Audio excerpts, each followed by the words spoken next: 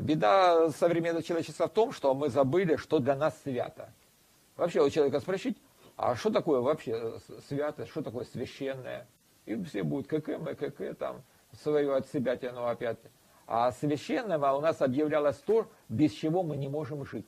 То, что для нас жизненно необходимо.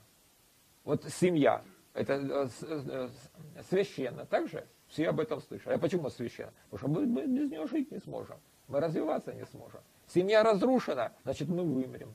Ну, результат. Меньше 3% осталось. Потому что разрушена у нас семья. Так же? Это сейчас проституция узаконенная, а не семья. Ее нельзя семьей назвать. Потому что семья это я, мой э, отец, мой дед, мой прадед, это я, мой сын, мой внук, мой правнук. Вот когда мы вместе живем, это называется семья. А у нас нет возможности с семьей жить. Наши предки с семьей жили. А семьи уже объединяются в племя, там, племена в род, в народ. И вот тогда мы можем нормально жить. Ни преступности не будет, ни нарушения общественного порядка не будет, ничего.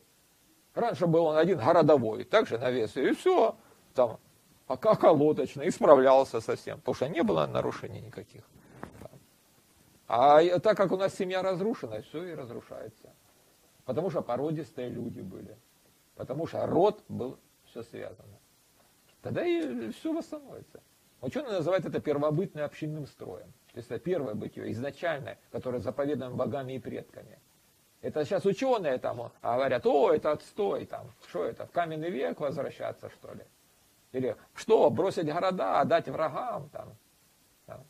Это вот э, идиоты просто. У нас сейчас не семья, а брак. Вот именно. То есть забыли, что для нас священно. И вот если мы не вспомним, что для нас священно, а если это священно, то ну, наши предки говорили, да лучше жизнь свою положить, но священное защитить. Так же? А если мы не знаем, что для нас свято, то за что жизнь отдавать? И кто захочет жизнь отдавать? Потому что никто не знает, а что со мной после смерти будет. И вообще, будет ли? Да большинство людей даже об этом не задумываются. Это же, ну, сумасшедший дом просто. Как будто никто не умрет. Все умрут. Почему никто не думает об этом?